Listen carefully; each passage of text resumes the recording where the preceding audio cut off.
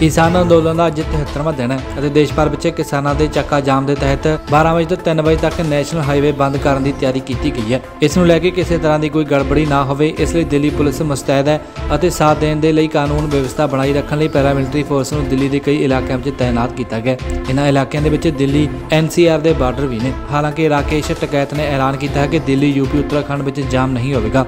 ਰਾਕੇਸ਼ ਟਕੈਤ ਨੇ ਕਿਹਾ ਕਿ ਇਹਨਾਂ ਸੂਬਿਆਂ ਵਿੱਚ ਜ਼ਿਲ੍ਹਾ ਅਧਿਕਾਰੀਆਂ ਨੂੰ ਮੰਗ ਪੱਤਰ ਸੌਂਪਿਆ ਜਾਵੇਗਾ।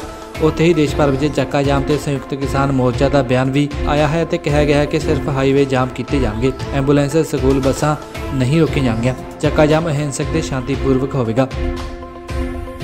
Bureau report, Awaaze Qaum TV.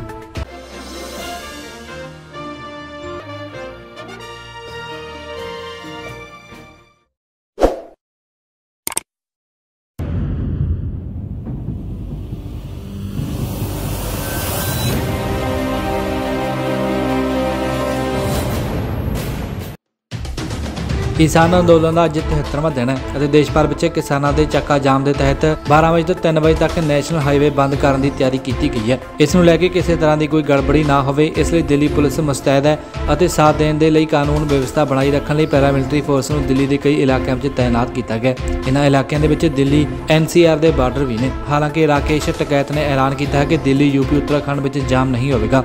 Rakesh Tikait ਨੇ ਕਿਹਾ ਕਿ ਇਹਨਾਂ ਸੂਬਿਆਂ ਵਿੱਚ ਜ਼ਿਲ੍ਹਾ ਅਧਿਕਾਰੀਆਂ ਨੂੰ ਮੰਗ ਪੱਤਰ ਸੌਂਪਿਆ ਜਾਵੇਗਾ।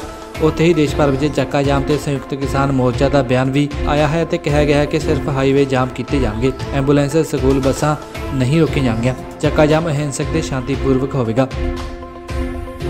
Bureau report, Awaaze Qaum TV.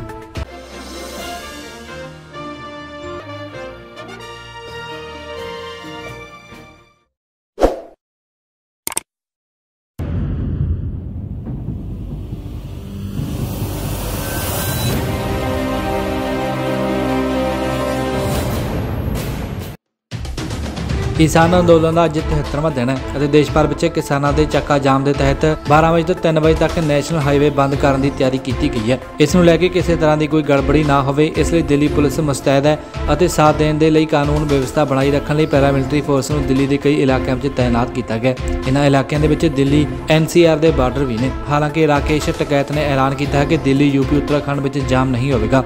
Rakesh Tikait ਨੇ ਕਿਹਾ ਕਿ ਇਹਨਾਂ ਸੂਬਿਆਂ ਵਿੱਚ ਜ਼ਿਲ੍ਹਾ ਅਧਿਕਾਰੀਆਂ ਨੂੰ ਮੰਗ ਪੱਤਰ ਸੌਂਪਿਆ ਜਾਵੇਗਾ ਉੱਥੇ ਹੀ ਦੇਸ਼ ਭਰ ਵਿੱਚ ਚੱਕਾ ਜਾਮ ਤੇ ਸੰਯੁਕਤ ਕਿਸਾਨ ਮੋਰਚਾ ਦਾ ਬਿਆਨ ਵੀ ਆਇਆ ਹੈ ਤੇ ਕਿਹਾ ਗਿਆ ਹੈ ਕਿ ਸਿਰਫ ਹਾਈਵੇ ਜਾਮ ਕੀਤੇ ਜਾਣਗੇ, ਐਂਬੂਲੈਂਸ, ਸਕੂਲ, ਬੱਸਾਂ ਨਹੀਂ ਰੋਕੀਆਂ ਜਾਣਗੀਆਂ। ਚੱਕਾ ਜਾਮ ਅਹਿੰਸਕ ਤੇ ਸ਼ਾਂਤੀਪੂਰਵਕ ਹੋਵੇਗਾ। Bureau report, Awaaze Qaum TV.